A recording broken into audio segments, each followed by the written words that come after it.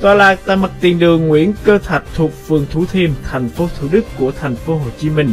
Thủ Thiêm Giant River được quy hoạch trên 3 lô đất mang ký hiệu 3.3, 3.7 và 3.11 thuộc khu chức năng số 3, khu đô thị Thủ Thiêm với tổng diện tích 3,3 hecta. Quy mô khu đất dự án gồm 6 block căn hộ cao từ 12 đến 32 tầng. Khi hoàn thành sẽ cung cấp cho thị trường 817 căn hộ. Tà dự án sẽ tích hợp các tiện ích như trung tâm thương mại, hồ bơi, nhà hàng, phòng tập gym và yoga, dịch vụ spa. Theo thiết kế, tại khu đất này sẽ cho xây dựng hai tòa tháp cao 25 và 32 tầng. Khi hoàn thành sẽ cung ứng ra thị trường khoảng 300 căn hộ diện tích từ 60 đến 200 mét vuông, thiết kế từ 1 đến 4 phòng ngủ.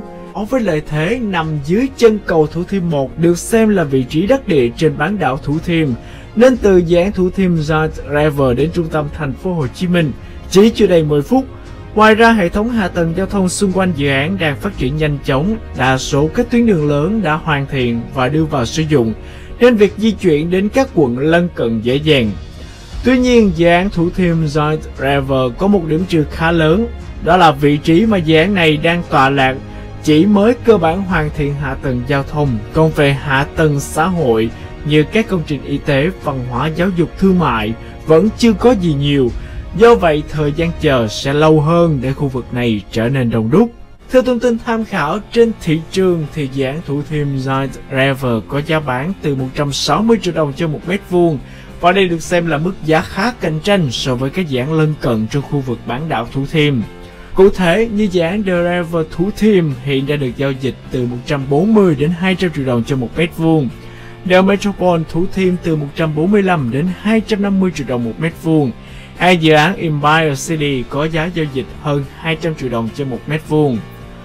Xét về đường dài khoảng 2 đến 3 năm tới khi cơ sở hạ tầng tại bán đảo Thủ Thiêm ngày càng được đầu tư và hoàn thiện, thì lúc này khả năng thanh khoản mới thực sự cao. Đối với khách hàng đầu tư ngắn hạn và cần xoay vòng vốn nhanh thì nên cân nhắc kỹ hơn.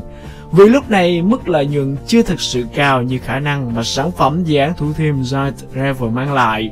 Theo bạn, với giá bán từ 160 triệu đồng cho một mét vuông thì việc lựa chọn đầu tư vào dự án Thủ Thiêm Giant River có đảm bảo khả năng sinh lời cũng như nhu cầu an cư hay không? Các bạn hãy chia sẻ suy nghĩ của mình bằng cách comment ý kiến vào bên dưới video nha. Nếu bạn đang quan tâm tới một dự án nào khác, đừng ngần ngại comment vào bên dưới video tên của dự án. Chúng tôi sẽ khảo sát và thực hiện review dự án đó trong thời gian sớm nhất.